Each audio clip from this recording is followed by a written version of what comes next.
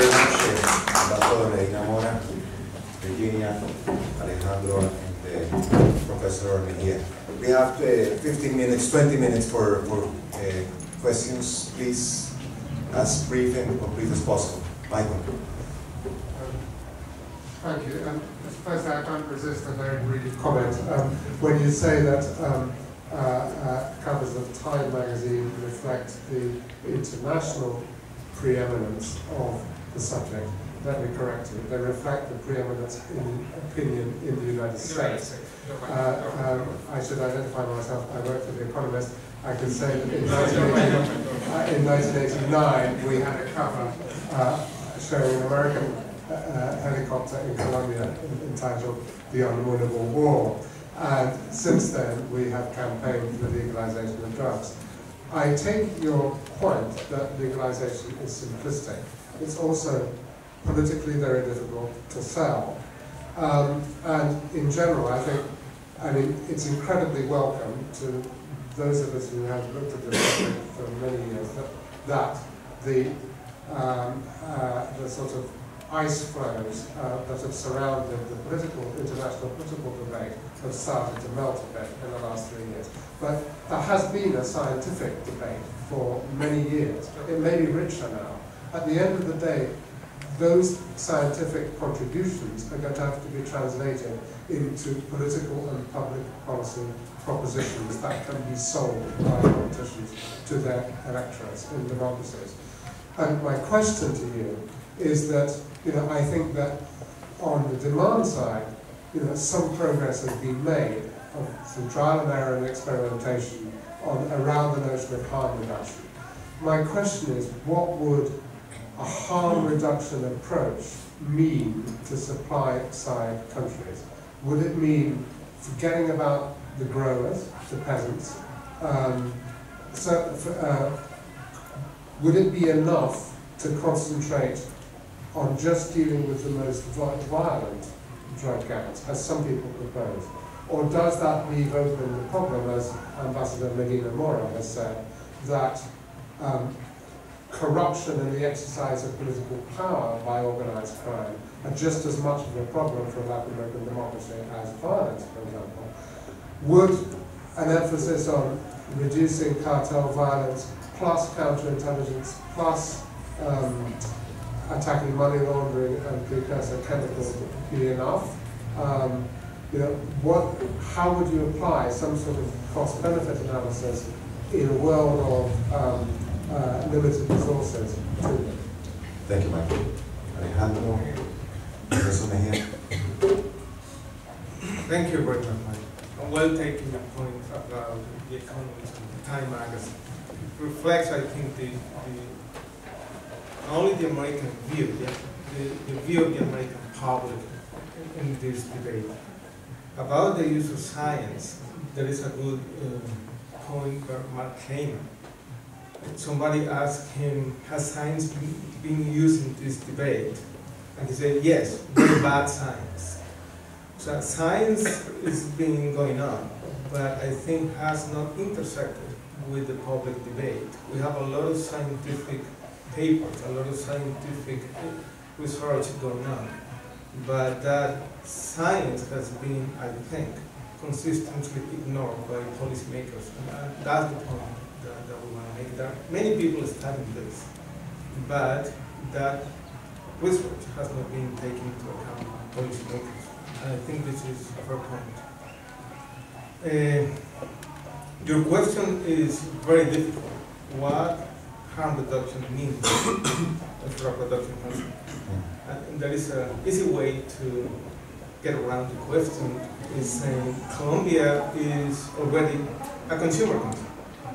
So, so the harm reduction so doctrine has something to say about Colombia.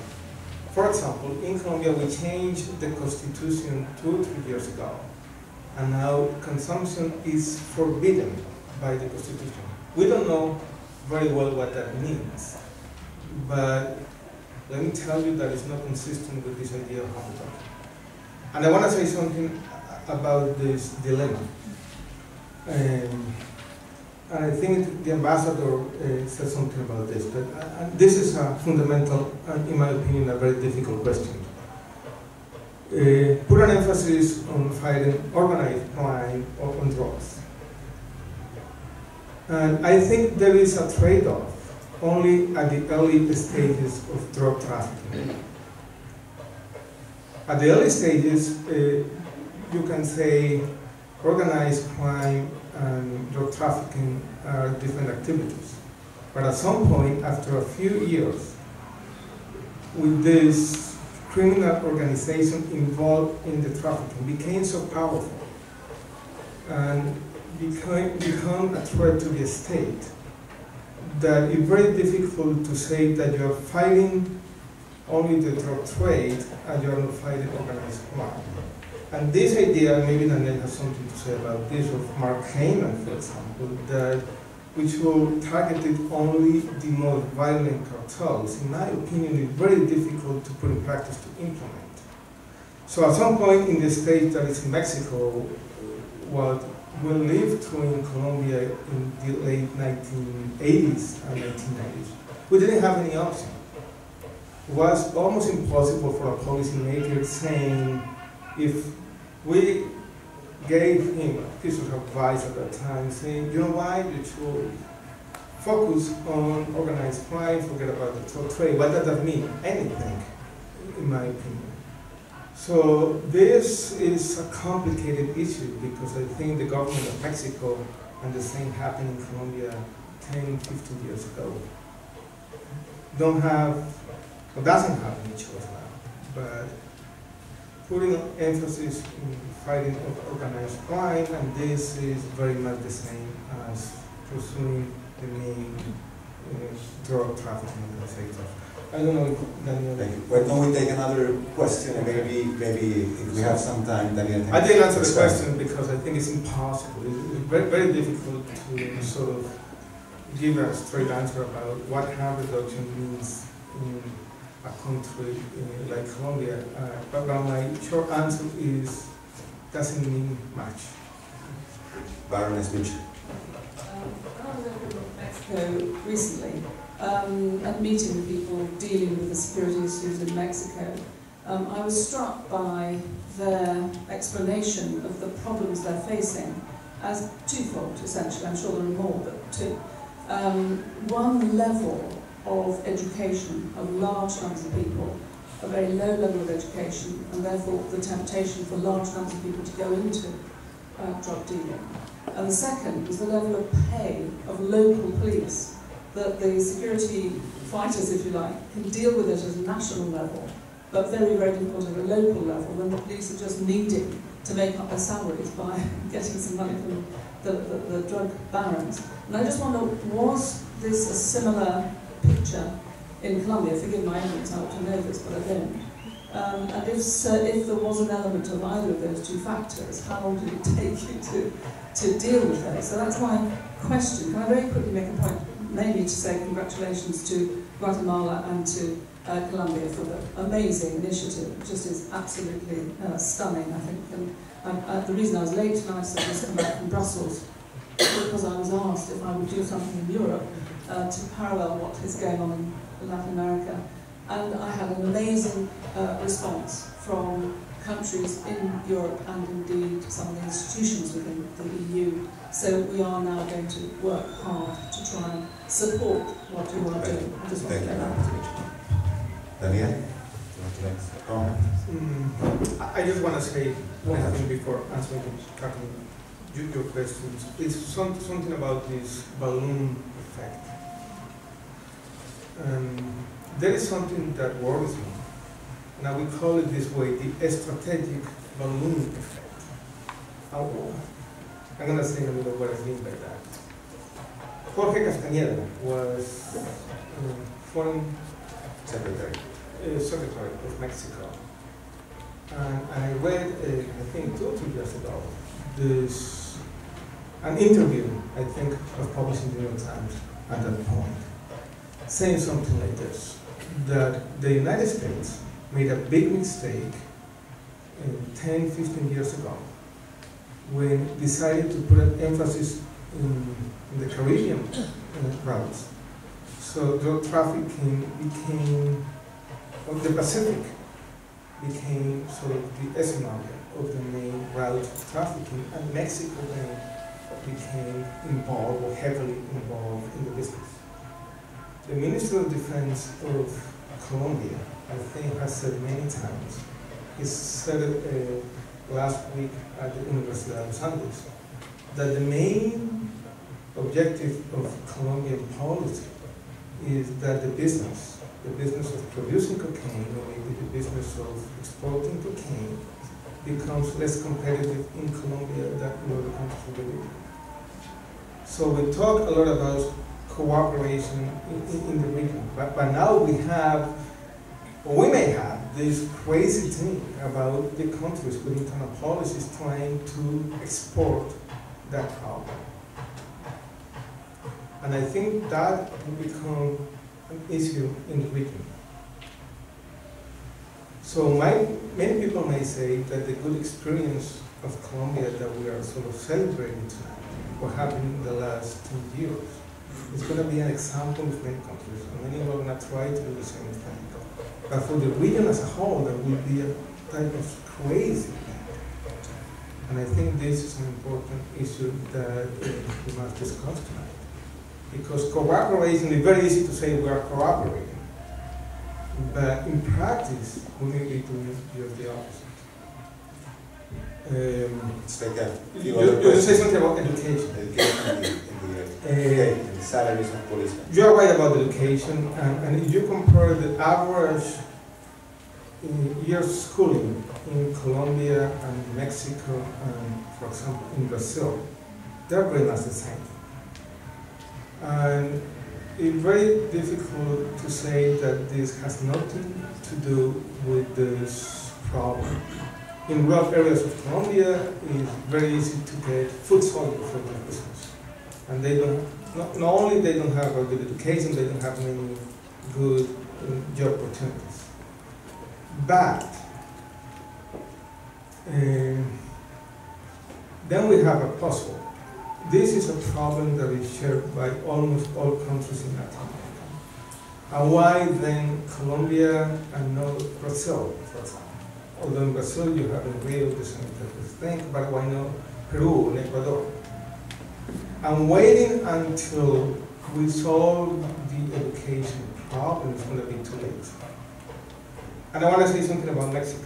And, I think Mexico is, is there is now this thing about Brazil and Mexico competing for the economic preeminence in the region. For Mexico.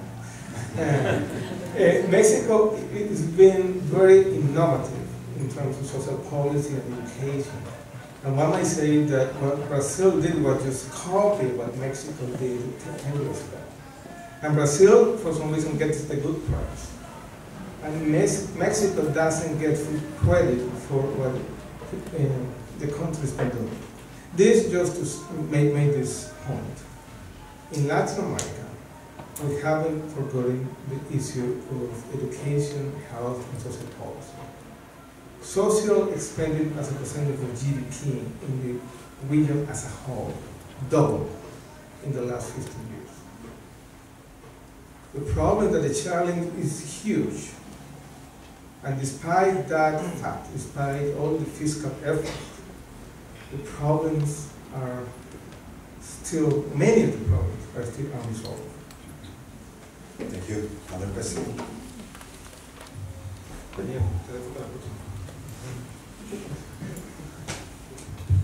Well, uh, my name is uh, Dawood Azami. I work for the BBC World Service. I'm also a visiting scholar at the University in London. And uh, drugs is my PhD topic. I'm comparing Afghanistan with Colombia. Uh, my question is about alternative uh, livelihood and alternative crops. Because for farmers, it's always about money. Um, you did a survey in Afghanistan, around 90% of farmers say that they cultivate opium poppies because uh, it's more expensive than other traditional crops. Uh, and you also mentioned that uh, legitimate crops. Uh, what can replace uh, coca in Colombia uh, or in other Latin American countries because in Afghanistan there hasn't been any crop or legitimate, so-called legitimate crop which can replace opium. Uh, the, the price difference is uh, 1 to 11 and 1 to 10. Uh, saffron has been uh, cultivated in some parts of Afghanistan now, but uh, they cannot compete with, uh, uh, with opium. So what is the replacement? Daniel. Okay, so there is no crop that you can find that the magical crop that you can replace coca with. What the experience of Colombia shows is that uh, these alternative development programs look great in theory, uh, but when they are implemented, they are very poorly implemented. I mean, if you go to a region in Colombia in the south west border with Ecuador, for instance, and throw money to farmers so that they switch to coca, cocoa, um, that doesn't work and you leave the farmers alone and they don't have the means to transport the, the legal product into the market, that fails completely. And a lot of money has been wasted on those programs.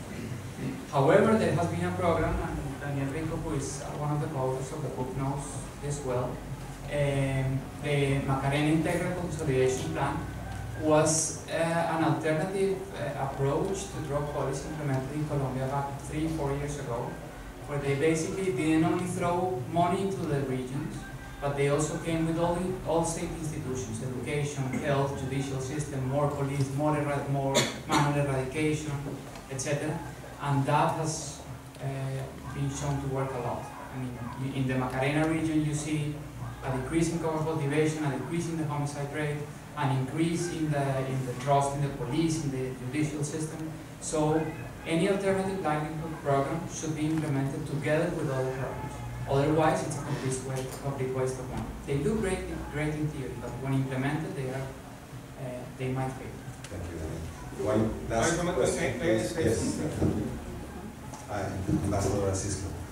Go ahead. There is a mystery going on in Colombia now, and has to do with the reduction of the coca fields, the coca acres that went from hundred thousand hectares to sixty something, I, I don't know if Daniel knows the last number is fifty-five, fifty-five, fifty, fifty-five thousand hectares. Um, and we don't know why, and nobody knows why. And I have a theory, pet theory, Dutch disease. Uh, when this booming mining and oil sectors in Colombia, many workers are moving to those sectors and are finding sort of profitable opportunities. And in Colombia, we have now that the coffee production is also going down. And in that sector, everybody is saying, you know, it's Dutch disease. But I think something similar is also going on in some regions, not in all. But for example, in the Magdalena region, with the coca production. So the alternative development programs, they don't work very well. But if we have profitable opportunities in other sectors in the economy, maybe that we, that would be a sort of unintended way to substitute the coca production for other legal activities. Okay, last two questions, uh, Luis and uh, Ambassador Francisco from Guatemala. Thank you. Um, well, I, I want to just say thank you very much. I think it's really um, very positive that Colombia and Mexico are leading this discussion. Um, I wanted to kind of build a little bit on the last question because it was interesting. This first speaker talked quite a lot about um, transportation and distribution of the drugs internationally. But of course, you need also for the problems to focus a little bit on what's happening in Colombia, particularly with the levels of poverty in Colombia. And um, cultivation and transportation are two major issues, which I think you were just referring to in the last example, whereby uh, cocaine is obviously easily cultivated, easily replaced, even when sprayed, and, and easily transported as well. So there's, there are some issues around what kinds of programs are going to be able to be implemented for those who are in poverty in Colombia, because otherwise you're just going to find that um, this, this continues really. Um, so that this is one area that I, I kind of appreciate if you could talk a bit more widely about how, what kind of plans you have for tackling those levels of poverty um, and how the kind of lack of infrastructure uh, comes into play in that, in that sense. And the other is that the drugs have always fueled the conflict in, in Colombia that, that's continuing with the guerrilla and the paramilitaries and now um, the, the BACRIM that, um, uh, that exists.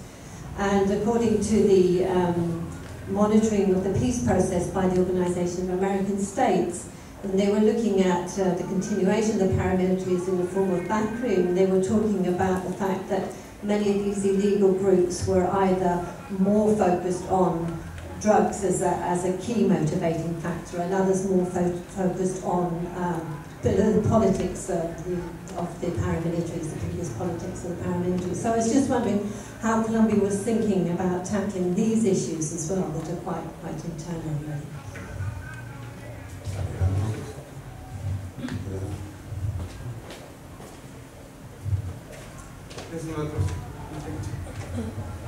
Thank you very much. Uh, I just want to make a uh, comment. It's, it's, really great to have three Latin American ambassadors.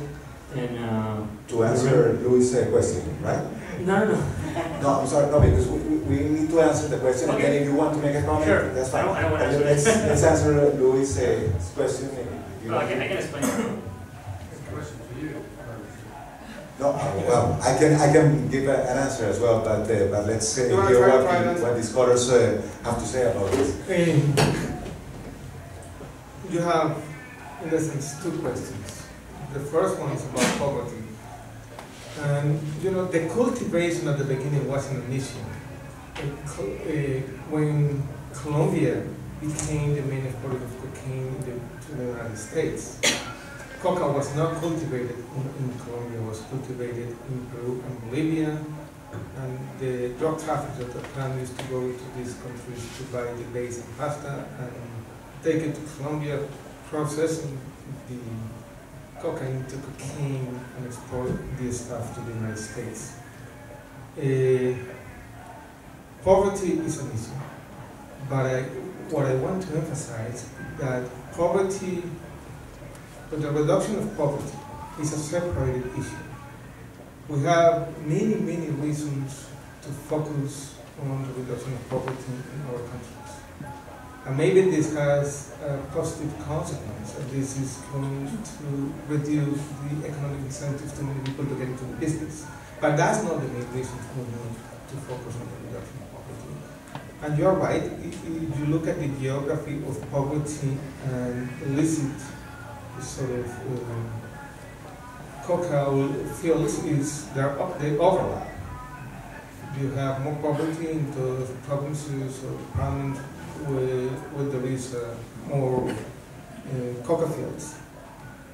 But um, linking the two things in sort of a deterministic way, saying as long as you have poverty, we're going to have this problem, I think it's not right. And, and we have done many studies on this, sort of, for example, looking at the connection between violence and poverty in Colombia, and that one is not that close. Then you have this complicated issue about the and trying to disentangling them between organizations that focus on the drug business, as some organizations, the paramilitaries, the whatever, that sort of are more in the political sort of type of business. I don't think that is, you're going to have, in many, many cases, the paramilitary organization doing both things, and that one is complicated.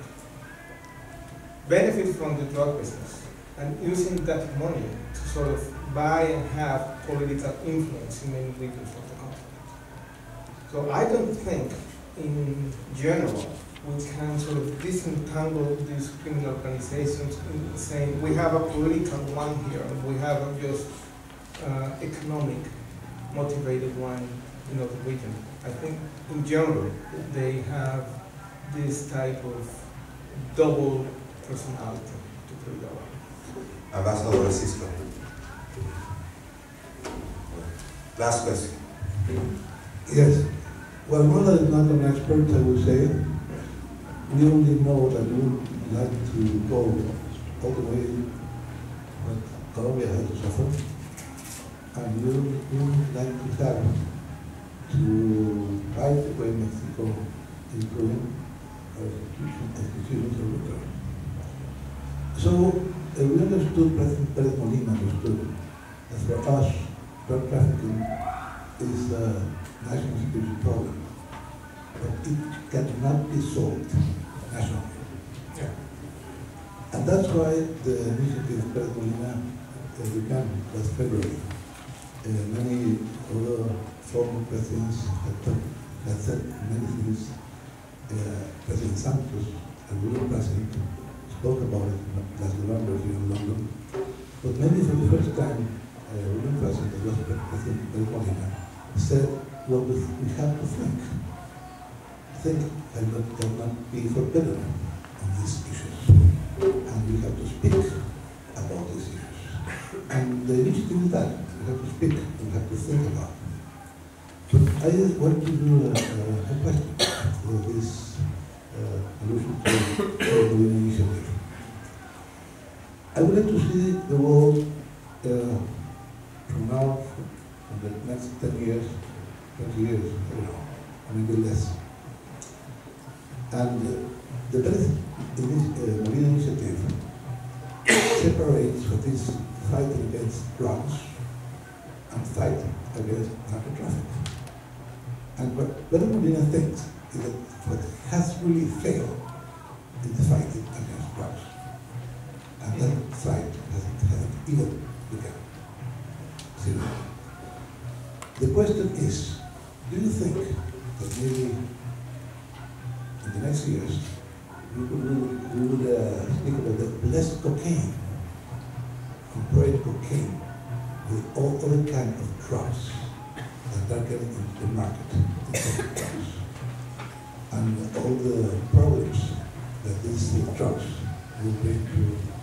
Health for people.